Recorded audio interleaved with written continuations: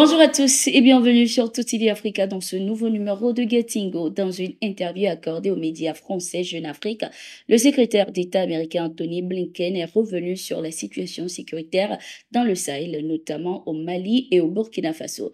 Il a laissé entendre qu'il y a eu une dégradation de la situation sécuritaire au Sahel depuis que ces pays ont décidé de faire appel au groupe paramilitaire russe Wagner. Nous l'écoutons. Au Mali, au Burkina Faso, quand euh, ils font appel et quand d'autres font appel, par exemple, aux forces extérieures comme, Wagner, pour essayer de répondre aux problèmes de sécurité, qu'est-ce que nous voyons? Nous voyons que euh, les problèmes deviennent encore plus graves, plus difficiles. Violence, extrémisme, terrorisme, dans les États qui ont fait appel à Wagner, euh, c'est croissant, c'est pas décroissant.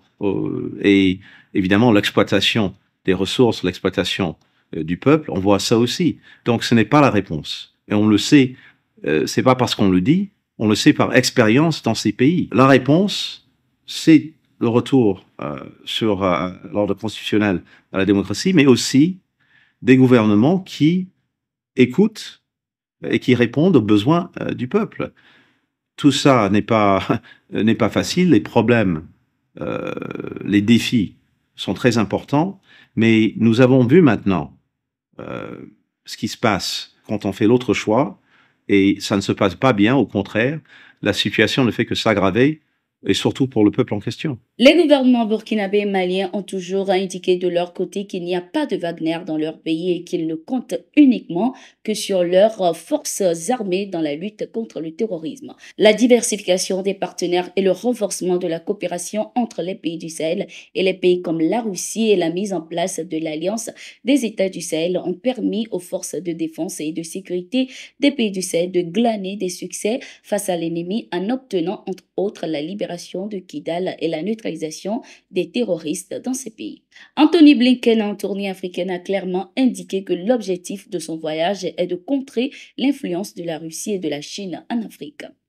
Dans la quête d'un siège permanent au Conseil de sécurité des Nations Unies, le président nigérien Bola Tinubu fait appel aux États-Unis. Cet appel au soutien a été lancé lors de sa rencontre avec euh, le secrétaire d'État américain Anthony Blinken ce 23 janvier 2024. En effet, la requête de Tinubu a été révélée lors d'une conférence de presse conjointe avec le ministre nigérien des Affaires étrangères Youssouf Tougar. Ce dernier a révélé que le Nigeria, en tant que plus grande économie d'Afrique, méritait de représenter la voix africaine au Conseil de sécurité. Outre la demande de siège permanent à l'ONU, il a soulevé la question de l'adhésion du Nigeria au G20. Le ministre Touga a insisté sur l'importance de cette démarche pour renforcer la position du Nigeria sur la scène économique mondiale.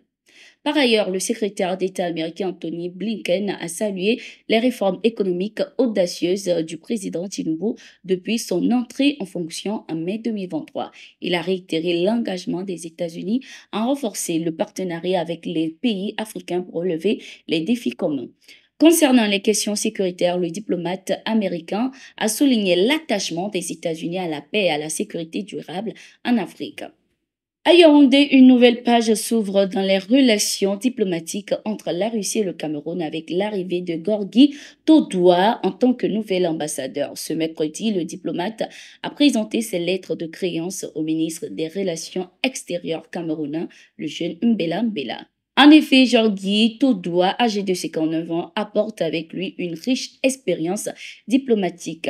Avant sa nomination en tant qu'ambassadeur en poste à Yaoundé, il a précédemment servi comme ambassadeur de Russie au Burundi de décembre 2014 à juillet 2019. Son retour à Moscou l'a ensuite conduit à occuper le poste de directeur adjoint du département Afrique du ministère russe des Affaires étrangères. Les relations diplomatiques entre la Russie et le Cameroun remontent au 20 février 1964 et sont caractérisées par une amitié traditionnelle. L'ambassade de la Fédération de Russie au Cameroun a été inaugurée en 1966.